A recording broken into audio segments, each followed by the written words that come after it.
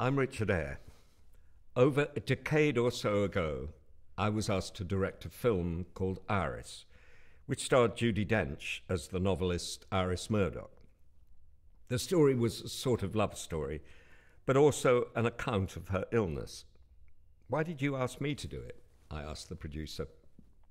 And he replied, Well, you know about these things.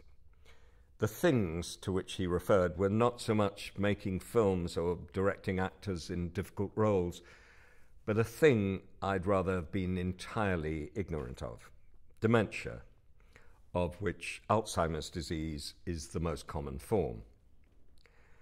Iris Murdoch was diagnosed with it in 1997. My mother had Alzheimer's too, and she died in 1992. I wish I'd known during her illness what Arts for Dementia has now shown that engaging in activities involving the arts can override the symptoms of dementia and the stigma of the word. They help to restore confidence and a sense of purpose and of fulfillment. Hamlet says, What a piece of work is a man!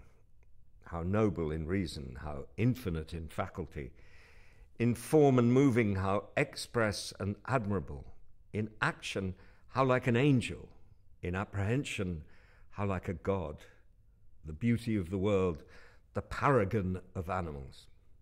And the speech goes on, and yet to me, what is this quintessence of dust? A quintessence of dust. That's what the mind becomes with Alzheimer's. You lose your mind, and yet death seems ashamed to approach you. Little by little, you slip away, and your loved ones never know when to say goodbye. Imagination and emotion are qualities that oddly remain undamaged for years after diagnosis of Alzheimer's. Arts for Dementia is now helping arts organisations nationwide to set up weekly arts workshops to help families embarking on their journey with dementia.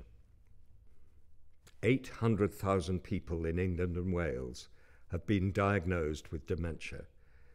It's the two thirds, 600,000, who live at home that Arts for Dementia seeks to help.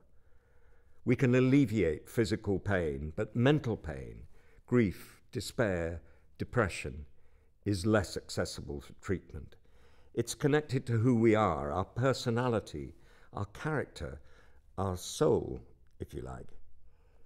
The sister of the novelist Henry James said, Physical pain, however great, ends in itself and falls away like dry husks from the mind while moral discords and nervous horrors sear the soul. If you, your parent or partner, are coping with the early stages of dementia, the challenge of drama breaks through the distress and fog of confusion and releases your natural creative impulse. Taking part in drama workshops has proved so effective to Arts for Dementia participants that they felt their minds were reawakened.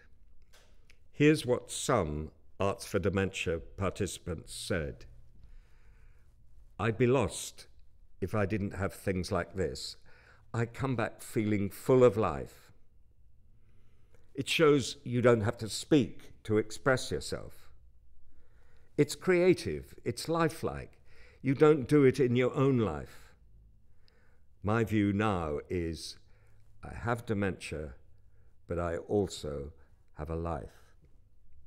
I urge theatres and drama colleges to explore the use of drama. Arts for Dementia, working with Alzheimer's Society, provides the training to relight the spark of imagination.